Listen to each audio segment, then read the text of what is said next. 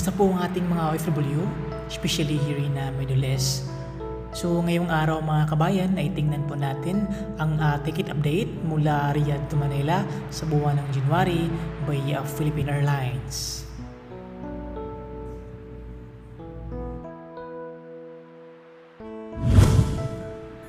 So nandito na po tayo sa mismong website ng uh, Philippine Airlines mga kabayan. Ito po ay one-way ticket mula Riyadh, uh, Saudi Arabia patungo Manila, Philippines sa buwan ng January by uh, Philippine Airlines.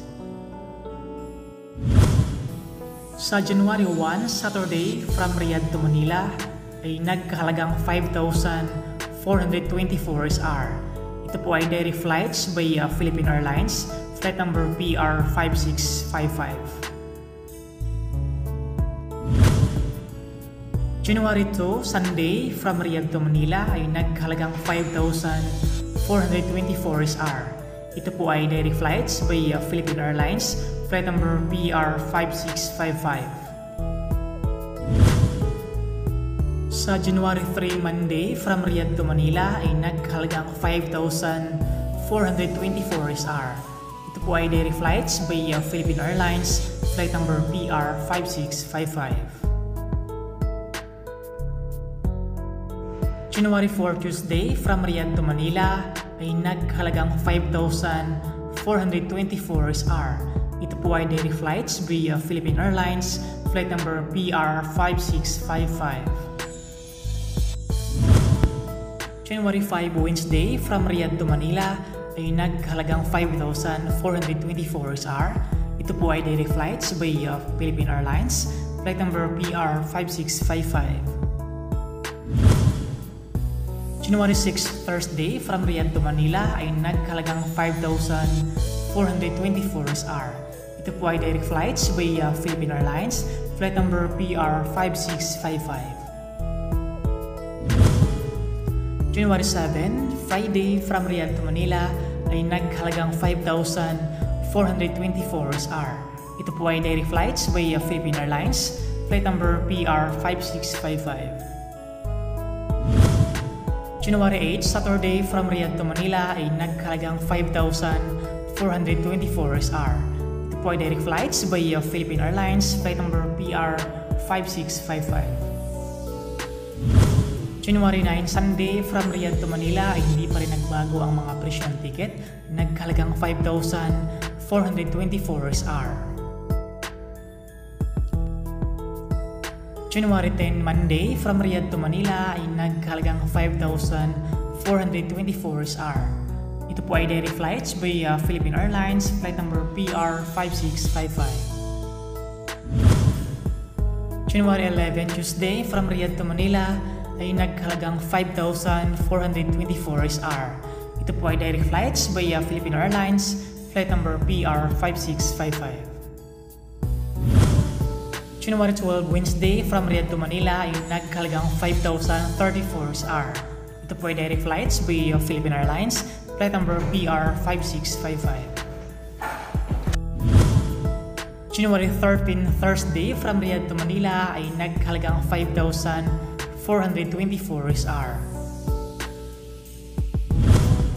January 14, Friday, from Riyadh to Manila ay nagkalagang 5,000 424 SR. January 15 Saturday from Riyadh to Manila ay nagkalagang 5,424 SR via Philippine Airlines flight number PR5655. January 16 Sunday from Riyadh to Manila ay nagkalagang 5,424 SR. Ay daily flights via Philippine Airlines flight number BR5655.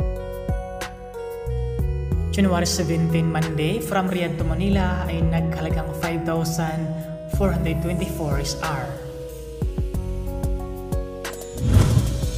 January 18 Tuesday from Riyadh to Manila ay nagkalagang 5,034 SR by Philippine Airlines flight number BR5655.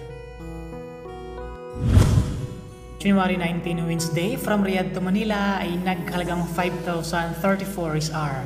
Ito po ay direct flights via Philippine Airlines, flight number PR 5655. January 20 Thursday from Riyadh to Manila ay nagkahalagang 5,424 SR. January 21 Friday from Riyadh to Manila ay nagkahalagang 5,000 424 SR. January 22, Saturday from Riyadh to Manila ay naghalagang 5,034 SR. Ito po ay direct flights by uh, Philippine Airlines, flight number PR5655. January 23 Sunday from Riyadh to Manila ay naghalagang 5,034 SR by uh, Philippine Airlines, flight number PR5655. January 24, Monday, from Riyadh to Manila ay naghalagang 5,034 SR by Philippine Airlines, flight number PR5655. January 25, Tuesday, from Riyadh to Manila ay naghalagang 5,034 SR by Philippine Airlines, flight number PR5655. January 26 Wednesday from Riyadh to Manila ay nagkalagang 5,424 SR. January 27 Thursday from Riyadh to Manila ay nagkalagang 5,034 SR via Philippine Airlines flight number PR5655. January 28 Friday from Riyadh to Manila ay nagkalagang 5,034 SR. January 29 Saturday from Riyadh to Manila ay naghalagang 5,034 SR. January 30 Sunday from Riyadh to Manila ay naghalagang 5,034 SR via Philippine Airlines flight number PR5655. January 31 Monday from Riyadh to Manila ay naghalagang 5,034 SR by uh, Philippine Airlines flight number PR5655.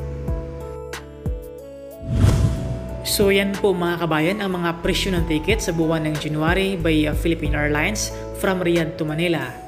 And uh, hanggang dito na lang po mga kabayan. Sana po ay nakatulong itong ating uh, video ngayong araw bilang guide sa ating mga OFW na pauwing Pilipinas na gustong mag-book sa buwan ng January.